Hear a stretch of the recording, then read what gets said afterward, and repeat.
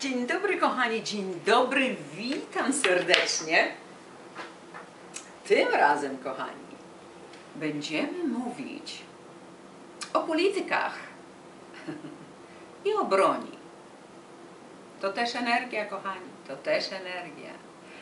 Um, I myślę, że to będzie ciekawy segment. Um, akurat tak się złożyło, że w ogóle dlaczego ja o tym mówię, bo samej mnie nie za bardzo by przyszło to do głowy, przyznam się szczerze. E, ktoś zrobił a, wpis pod jednym z moich filmików, że ja nie byłabym dobrym politykiem, więc zaczęłam się nad tym zastanawiać. E, czy ktoś stara się mnie obrazić, czy może pochwalić? Więc rzuciłam na Facebook. Co czyni człowieka, co czyni kogoś dobrym politykiem? No i oczywiście były bardzo różne odpowiedzi. Też można zerknąć, ja na Facebook, tak jak i na wszystkich innych socjalnych mediach, jestem osobą publiczną, to znaczy nie tylko dla grona znajomych, um, ale wszyscy mogą zobaczyć, co ja piszę. Prawda i tak jest rzeczą główną, już się nic, kochani, e, nie ukryje za długo, jeżeli w ogóle się coś ukryje, więc po co w ogóle kłamać? Po co oszukiwać? Drugie natomiast, i za, za chwilę o tym będziemy mówić, drugie natomiast padło pytanie też pod jednym z moich filmików, co sądzę na temat posiadania broni. W ogóle co sądzę na ten temat. Więc to będzie druga część. Zajmiemy się pierwszą. No przede wszystkim, aż zerknęłam, słuchajcie, żeby przyjrzeć się bliżej temu, kto to jest polityk, co się o tym mówi. No więc polityk to osoba, która sprawuje władzę, dąży do jej zdobycia, bądź też w inny sposób uczestniczy w podejmowaniu decyzji politycznych. Więc taka jest niby, um, to jest znaczenie polityka, definicja polityka. No i na przykład Maria Szyszkowska pisała, część polityków jest zajęta myślą o wygodnym urządzeniu siebie i własnych rodzin panuje nepotyzm i usankcjonowana korupcja. Wielu polityków charakteryzuje mała wrażliwość i uczciwość, skoro kierują się egoizmem w warunkach postępującej nędzy.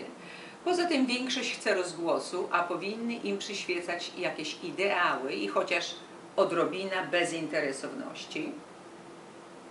Ktoś inny pisał, um, każdy polityk ma swoich zwolenników i swoich przeciwników. Jedni bowiem uważają, że szczęście kraju polega na tym, co według innych byłoby dlań nieszczęściem. Ronald Reagan powiedział, politycy mają skłonność do myślenia o następnych wyborach, a nie o następnym pokoleniu. Problem polityków polega na tym, że za dużo mówią, w związku z czym za mało słuchają innych, a już zupełnie nie starcza im czasu na myślenie. E, Tony Blair. Politycy są jak pieluchy. Powinni być zmieniani często i z tego samego powodu. E, Charles de Gaulle, ponieważ polityk sam nie wierzy w to, co mówi, jest zaskoczony, gdy inni mu uwierzą. E, ten, kto powiedział, żadna praca nie hańbi, na pewno nie znał ani jednego polityka. Tak pisał Andrzej Majewski. Natomiast to ostatnie, e, ludzie nienaganni pod względem moralnym są złymi politykami to powiedział Max Weber. No więc ja się tym pocieszę, że tak, jeśli podejdziemy do tego wszystkiego, co Wam przedstawiłam, szczególnie powiedzenie Maxa Weber, no to na pewno nie byłabym dobrym politykiem, ponieważ jestem w zupełnie innym wymiarze. To wszystko, co Wam powiedziałam, to co tak naprawdę dzisiaj polityka i politycy sobą reprezentują, to jest trzeci wymiar. To nie ma nic wspólnego z piątym wymiarem. Ale o tym e, też e, w podsumowaniu. Najpierw zajmiemy się bronią. Czy Co ja sądzę na ten temat? Ja zrobiłam filmik dwa lata temu, może ponad. E, Było to chyba wokół wyborów na prezydenta Stanów Zjednoczonych, albo Hillary Clinton jako demokrata, albo republikanin Donald Trump.